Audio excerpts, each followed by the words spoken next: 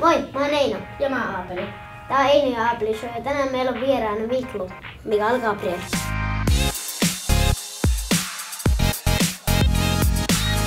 Moi. Moi.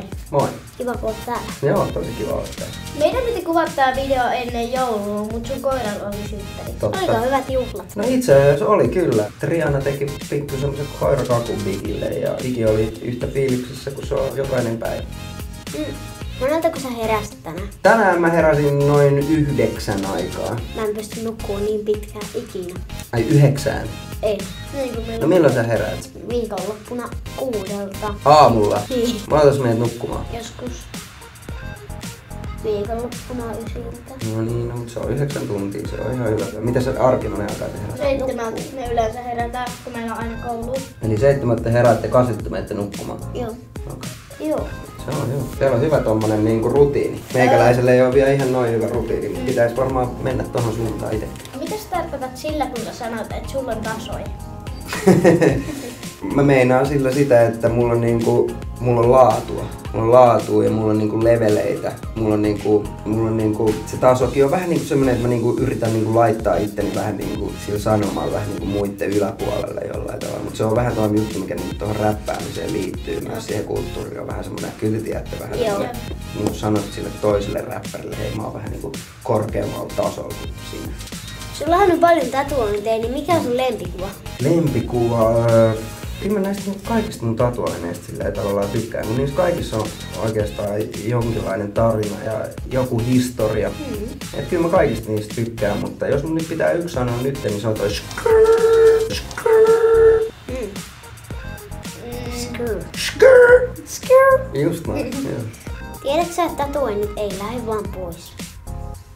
No itse asiassa kyllä mä tiedän, ne ei lähde pois. Ne vähän haalistuu vuosien mittaan, mutta ei ne pois lähde. Älkää missään nimessä ottako tatuointia. Se on hyvä vinkki. Ja vitsi, kun tässä oli just tällä kysymys, että millaista tatuointia sä suosittelisit mulle? en minkäänlaista. Vain elämäohjelmassa sä sanoit, että Suvi Teräsniska tekee musiikkia vanhan ihmisen sielulla. Kenen sielulla sä teet?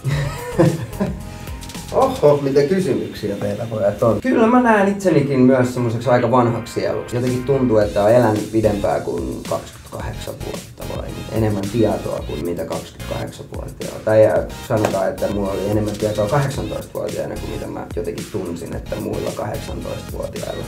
Missä sun kultahampaat on? Ne on kotona. Mm. Ei viittinyt laittaa tänään päälle, ne on niin raskaat, ne sattuu. Mm. Joo. Mitä tarkoittaa loppaa? niin, en mä oikein itsekään tiedä. Se oikeastaan tulee siitä, kun on tollasia, tota, mitäsköhän tän nyt teille selittäisi. On tota noin niin semmonen musa kuin house tai techno, kertokaa. Joo. Joo, ne on semmosia teknobileitä, tai on diskoja, te tiedätte varmaan diskoja. On semmosia diskoja, missä ihmiset käy niin tanssimassa sitä teknomusiikkia ja kuuntelee sitä house-musiikkia. Mä oon joskus niinku kuullut tai nähnyt jossain elokuvassa tai jossain videossa, missä ne on silleen woppaa, woppaa, kun ne tanssii samalla ja huutaa woppaa. Ja sit siitä se tuli niinku se nimi. En mä itse asiassa tiedä mitä se tarkoittaa. Mulle henkilökohtaisesti se varmaan meinaa, että itse että on siisti fiilis tai jotain, kun jengi huutaa sitä aina. Woppaa, woppaa. Tykkäätkö sä oikeasti vetää puutarhaa? Tykkään todella paljon. Se on niinku ihan parasta ikinä. Puutarhan hoito on vähän niinku uuden elämän kasvattaminen. Se on siistiä, tosi kiva nähdä, miten se niinku paranee se maku ja miten ne niinku kasvit kasvaa isommiksi, jos pidät niistä huolta ja mitä vihreämmiksi ne kasvaa, jos sä pidät niistä parempaa huolta ja, sitten ne kuolee, jos sä et pidä niistä. Se on elämää. Oliko se sun riippumatta oikeasti sun puutarhas? Se riippumatta, mikä siinä videossa on vai? Niin. Ei, se ei ole se sama riippumatta, ei ole mun puutarhassa. Mutta riippumatta löytyy.